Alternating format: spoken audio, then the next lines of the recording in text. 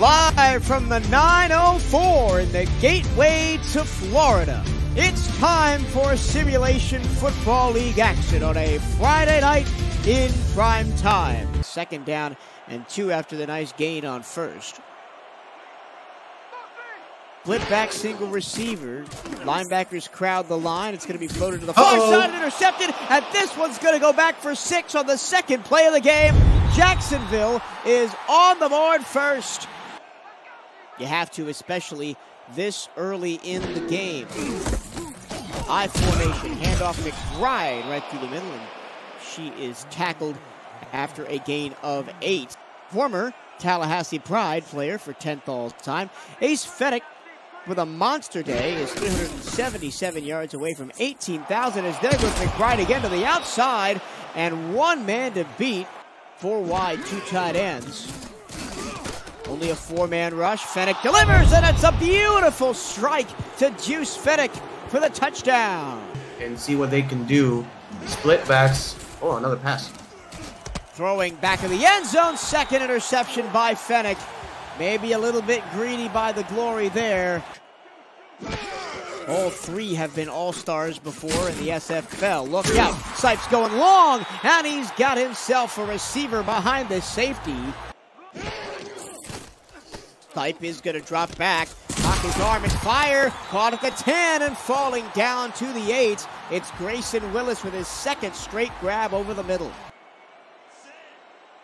And it didn't really work out that time. Now they go back to I formation. Maybe they try to do something with Jared Willis here.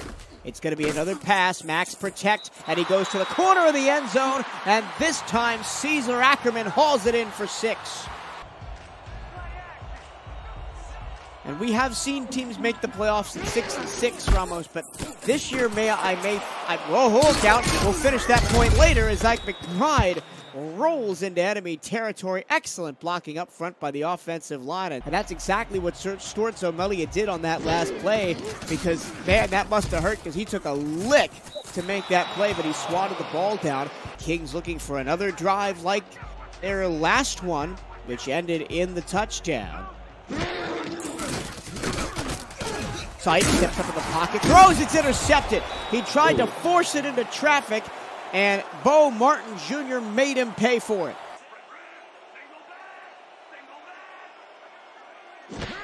And now the Lone Star Glory in a position to take the lead. First and five, and sliding backwards with the football. But you're likely gonna just throw it just past the sticks. Maybe a, a, an out right here, top of the screen or something.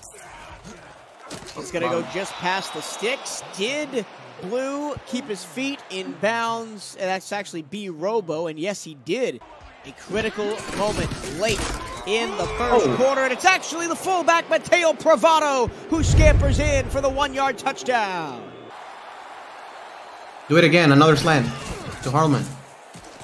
It's Uh-oh. going to go back corner. It's going to be intercepted. Sipe threw up a jump ball, and Mickey McGuire jumped over the receiver and came down with it. Yeah, just just not smart football right there by the play caller.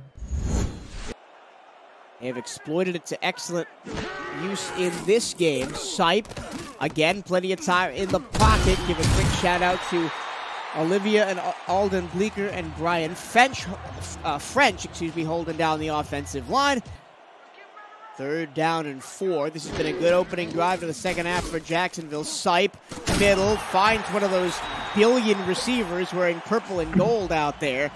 17-14 our score, 8-19 to go in the third quarter. Sipe has a dangerous pass into double coverage, but Arazaya Way comes down with it and bails out his quarterback, his second straight grab. Finally, just uh, opening up those weapons. Second and two. Um, they may try to pass it again. So Yeah, last time they threw an interception. This time they go stretch play left, and Jared Willis finds his way to the house. They have converted on third down once already this drive to get out to this position on the field. Low snap, Sipe, pressure in his face, gets drilled as he lets it go and throws another interception. And this time the Glory have excellent field position of the Jacksonville 29. Forced Lone Star out of field goal range. They're flirting with the very edge of it right here. Fenech going deep over the middle. One handed catch pulled in by Deuce Fenech. Unbelievable grab. I mean, it's uh, not bad coverage by Jacksonville. The safeties were spread a little bit too wide, but they converge middle of the field pretty quickly, and it's a great throw and an even better catch. You know, the execution was a little bit lacking. That would have been Troll's first SFL touchdown, continuing the string of first for Lone Star players today. Throwing, and Enzo knocked away! And I'm I, I, can't believe that Ike McBride didn't touch the ball once in that sequence. Yeah. 19-yard field goal up and good by Matt Fenech, 21 to 20. Jacksonville holding on to the slimmest of leads. Look for another post here to Greg Soto. Speaking about a, a deep pass going to Soto, man. Deep post here. Second and 10 from the midfield stripe. It's a deep oh. cross, and it says a deep pass, but it's to B. Robo. Fenech three-step drop from the middle. Soto diving grab. And it seems that the middle of the Jacksonville defense is just not ready. It is going to be a run. They spread out the defense, and it's a red carpet of open grass leading straight to the end zone for Ike McBride. Yeah, those corners have been great all season long. Another third and long. Pump fake for Sipe. Middle. Caught by Ellington into Lone Star territory. If you do get stopped in field goal range, depending on how much time is left, you, you might consider just kicking, taking the three points, and seeing if your defense can get Lone Star off the field. Jared Willis wants to say, I'm going to get the ball in my own hands, spin three times, and find the end zone. What a ridiculous touchdown to give Jacksonville the lead. Wow! And that one, oh my god, 35 yards to the end zone. The best play by Jared Willis, not even close. Under 230. Snap with 10 seconds on the play clock. There it is. Willis right through the middle. Excellent blocking up front by the offensive line. And Willis pushes the pile to midfield.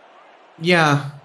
And that's the thing with the with the um penalty, actually. Willis, oh, Willis, he's gone. He's going to race to the end zone to seal the deal for Jacksonville. Touchdown, Kings.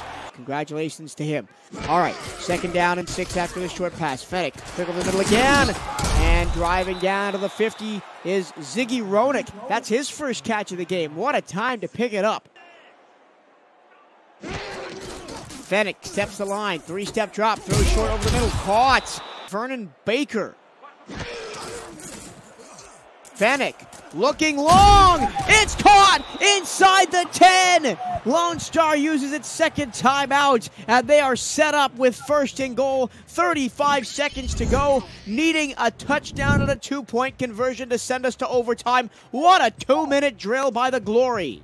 Unbelievable.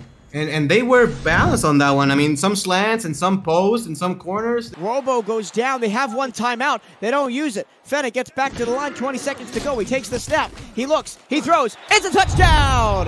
They went wow. right back to Robo, and he scores.